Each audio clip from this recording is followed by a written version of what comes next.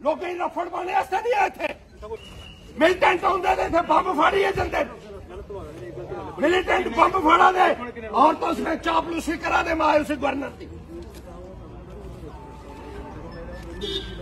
Duty लगे दी है लोकें भी तुला रफड़ पाए दा इथे सारी दुनिया ही पा पाए दा उसे ਸਾਰਾ ਉਧਮਪੁਰ ਬੰਦ ਕਰੋ ਸਵੇਰੇ ਕਿਲੋਮੀਟਰ ਨਾਲ ਲਾਈ ਦੀ ਨੇ मिलिटेंट ਹੁੰਦੇ ਇੱਥੇ ਬੰਬ ਫੋੜਦੇ ਉਸਲੇ ਨਹੀਂ ਹੁੰਦੇ ਲੋਕ ਮਰੀ ਹੈ ਸਾਡੇ ਪ- ਪਿਛਲੇ उसने तो सुते ना पुलिस वाले। हाड़ पे बदमाशी करा दे।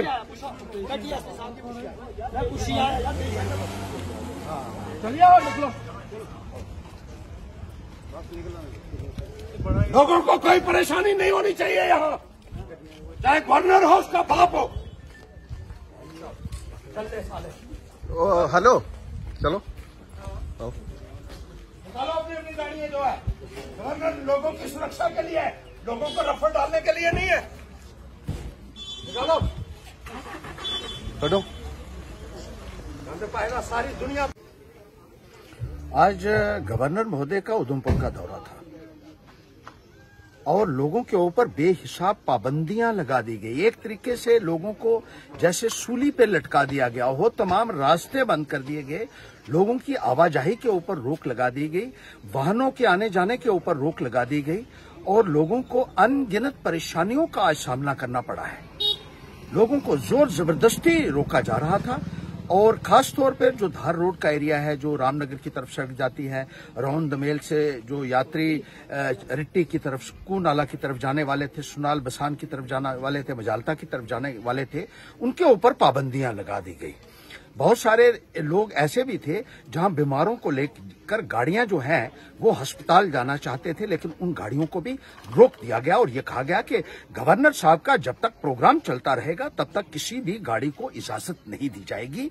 ये बहुत ही अजीबोगरीब एक फैसला जो है, वो जिला प्रशासन का भी था और इसमें गवर्नर महोदय की तरफ़ से भी इस किस्म की हिदायतें दिए जाना कि उस रास्ते के ऊपर कोई नहीं चलेगा, जिस रास्ते के ऊपर उनका प्रोग्राम हो रहा हो, ये हमने आज तक नहीं देखा और ये ये मुझे लगता है कि एक लोगों की भी एक बहुत बड़ी इंसल्ट जो है करने की कोशिश की गई है। लोग यहाँ के कोई मिलिटेंट नहीं है, गवर्नर साहब। जिला इंतजामिया को मैं कहना चाहता हूँ कि यहाँ के लोग कोई उग्रवादी नहीं है। ये वही लोग हैं जो देश का झंडा उठाकर चलते रहे हैं। और और कायदा और कानून का सम्मान करने वाले ये लोग हैं। और अगर इनकी मूवमेंट के ऊपर भी फ्रीडम ऑफ़ मूवमेंट के ऊपर भी आपने इस तरीके से रिस्ट्रिक्शंस लगा दी कि कल से ही इन रास्तों के ऊपर आपने पाबंदियाँ लगा दी। बहुत सारे बीमार लोग जो थे, वो अस्पतालों में नहीं पहुँच सके। जब हम आए तो हमने ये देखा कि इन तमाम गाड़ियों को वहाँ रोका जा रहा है ज़ोर ज़बरदस्ती के साथ। और कुछ बीमार लोग थे जो जो दुहाई दे रहे थे कि हमें जाने दीजिए, लेकिन उनके ऊपर भी रोक लगाई गई। ये किस किस्म के फैसले यहाँ लिए जा रहे हैं? और किस तरीके से प्रशासन को यहाँ चलाने की कोशिश की जा रही है? लोगों को सुविधा देना, ये प्रशासन का काम नहीं है। सुविधाएँ देनी देनी चाहिए।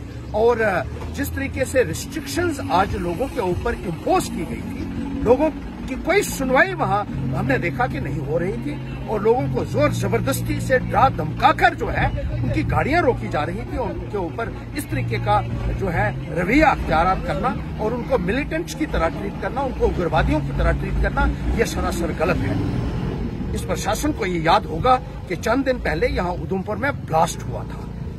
उस, वहाँ वो सुरक्षा देने में कामयाब नहीं हुई लेकिन यहाँ गवर्नर महोदय आते हैं, उनके साथ कम से कम 50 लोग सिक्योरिटी के उनके साथ ही होते हैं। और जहाँ वो प्रोग्राम कर रहे थे, वो तो सारा एक छावनी का इलाका है, जहाँ सेंट्रल फोर्सेस जो है, वो हज़ारों की तादाद में तैनात रहती हैं। उसके बावजूद भी लोगों को इस तरीके से परेशान किया जाना, किसी भी तरीके से जस्टिफाई नहीं किया जा सकता है। और लेफ्टिनेंट गवर्नर महोदय से भी मैं ये अपील करूँगा कि ऐसे चापलूफ अफिसरों के खिलाफ भी जो है, वो कार्रवाई की जानी चाहिए, जो लोगों को बिना वजह के इस तरीके से परेशान करते हैं, इस तरीके से असुविधा का माहौल बनाते हैं, इस तरीके से इनकन्वीनियंस लोगों के लिए क्रिएट करते हैं और जो लोगों का आज का जो नुकसान हुआ है कि आधा दिन आज का जो बंद रखी गई है ट्रैफ़िक और कल भी इसी तरीके से वो पाबंदियाँ जो लगाई गई थी, ये किसी भी तरीके से जायज़ नहीं ठहराई जा सकती जस्टिफाई इनको नहीं किया जा सकता ये सरासर गलत है और प्रशासन के इस रवैये की मैं कड़े शब्दों में निंदा।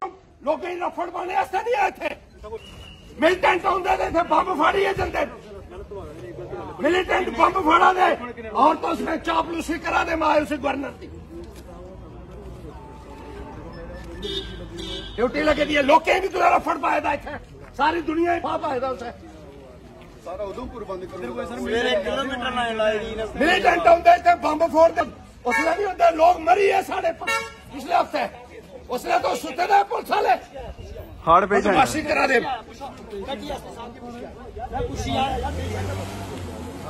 चलिए और निकलो लोगों को कोई परेशानी नहीं होनी चाहिए यहाँ। चाहे गवर्नर हो उसका बाप हो। हेलो। चलो। निकालो अपनी अपनी गाड़ियाँ जो है। गवर्नर लोगों की सुरक्षा के लिए।